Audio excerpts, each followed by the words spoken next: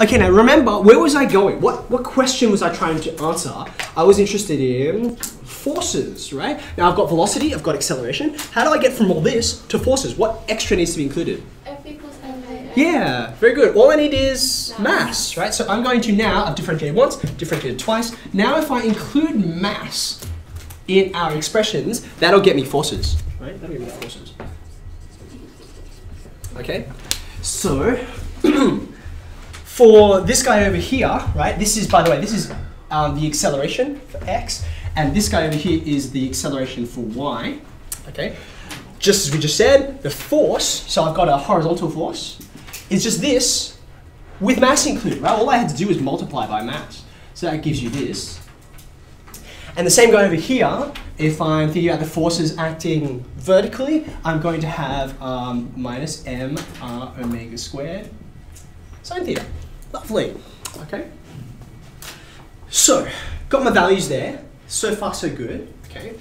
Now, again, I'm going to keep on asking questions. What's interesting that I can do with these? Now, if you recall, when we talked um, earlier about objects, they're moving around and around and around.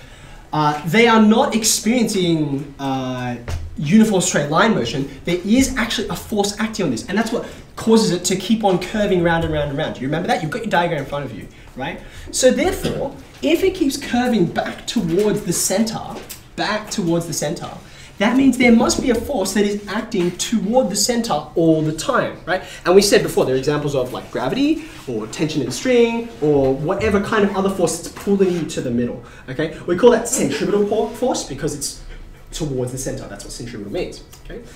So if you think about that, uh, I'm running out of air, this will do, okay? If you think about this situation, what that means is, if you are drawing toward the center, right, toward the center, you have a resultant force acting along this line. Okay. Now keep in keep in mind this is a tangent, right? This is a tangent. So this line here, this axis I've just introduced, what is that? It's the normal because it's perpendicular to the tangent, right? This is the normal.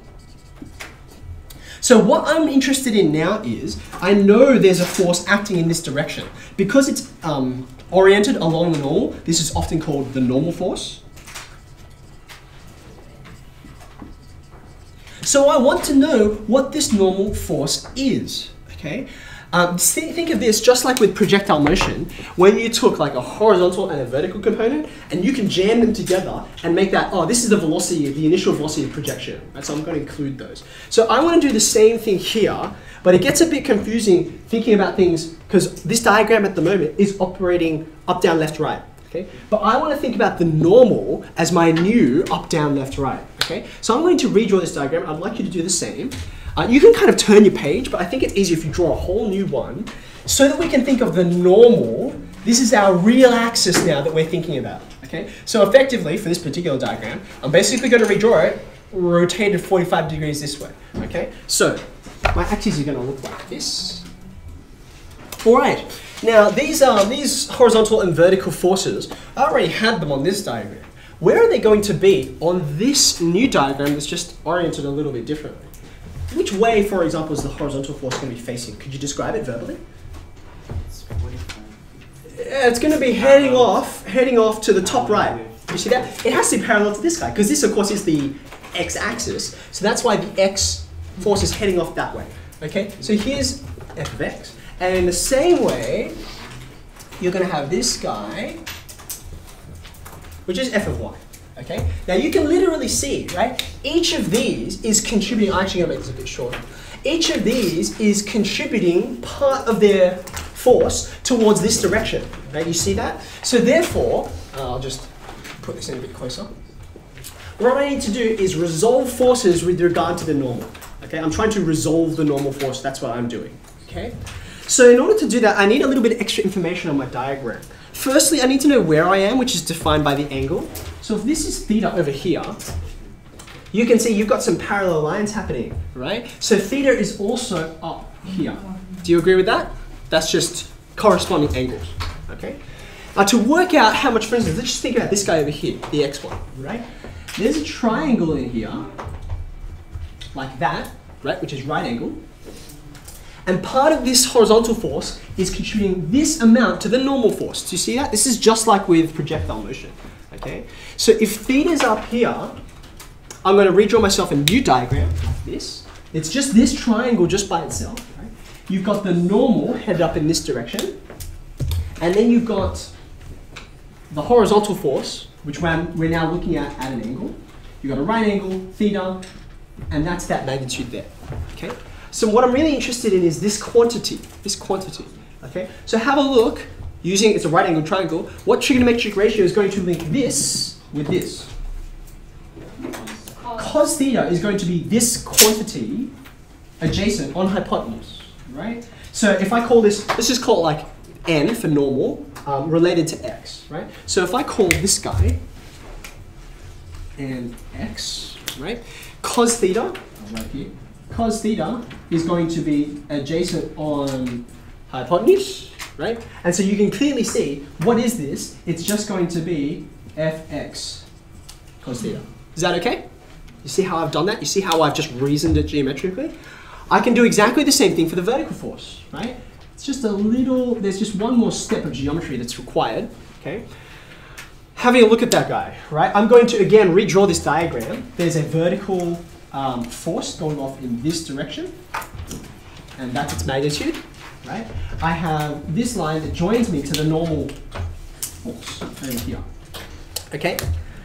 Now, coming back to this original diagram, how do I work out where theta is? Because I, I want this all in terms of theta. Right? Yeah, so where is theta? Now, you can kind of see, because these two forces are perpendicular to each other, right? This guy in here must be pi on 2 minus theta. Do you agree with that? It's the complement. Which makes, if that's pi on 2 minus theta, this guy over here must be theta. Do you see that? So I'm going to put theta here, right? And here is the normal force that comes from the vertical component, right? So that's, I'm going to call that my. What ratio combines these two? Sine. Uh, opposite on hypotenuse. So you can clearly see here, if I want to know what's the amount contributed to the normal force, it's going to be f of y sine theta. So you can see that nice pleasing symmetry to it. Okay. Okay, so where are we up to? Right, we're now trying to work out, well, the whole amount of force going in that direction. Now, can anyone suggest to me, why have I defined that as positive, even though actually we already know the force should be heading in this direction? Any suggestions? Because if it goes that way, then the thing would not be a circle, but then it would, like, it would go towards the center. Okay, hold on a second it is going towards the center. That's what makes it a circle, right? If it weren't like constantly turning in this way, that's toward the center of the circle, it's gonna be turning out that way, which is it's just gonna fly off, right? Nothing's bringing it back to the center. You need to balance it back up, like, because it's not Wait, like it's not spiraling. Forward. Okay, maybe I've, I've framed the question a bit unclearly. I'm just trying to think about why have I defined this as positive? Like I can define this as positive or that as positive. Why have I chosen this as the direction for positive, even though the force that I know actually is acting in that direction? It must be toward the center. Is it because you're only trying to find the magnitude of the force? I'm actually not just trying to find the magnitude. This is all in terms of like these guys. I haven't said absolute value anywhere, so sign is still preserved. Jinsu. No, no, it doesn't. No, it doesn't. But you should know why. You should know why. And there's a very obvious reason. It's a very obvious reason, right? Um, what's this point here? It's the origin. Right? It's zero, zero. So as you get larger and larger values, your numbers are getting bigger, right? That way. So it doesn't make sense to call that positive. Like who would say, oh yeah, here's the x-axis. By the way, that's negative. Like that's confusing, right? Don't don't make things get bigger as they get close to the origin. Things should get bigger as they go away from the origin. So that's why we've defined that way, that direction. Okay. So now if I combine these two together, I'm going to call this Fn, the normal force. The normal force. What I need to combine is these two guys here right? The normal force that comes from the horizontal component and the normal force that comes from the vertical component. Does that make sense? So I'm just going to add these. Just going to add them.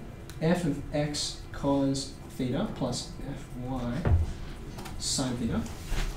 Okay? By the way, that was my answer to the question of why these guys here are facing in those directions. It's because they want to match with the normal force. Okay, so in case you were wondering before. Okay, what's f, fx again? What's, what's that force? It, it's, it's right here. isn't it? It's this guy over here. So therefore, let's put this guy over here. I will just fit it here. When I multiply that horizontal force by cos theta, I'm going to get minus m r omega squared cos squared. And then I take the vertical force and I say it's minus m r omega squared. Aha. Uh -huh. Right? This is this is in brackets by the way. Okay, so you can see I can clearly take out a factor of uh, negative mr omega squared. I get left with cos squared plus sine squared, which of course is one.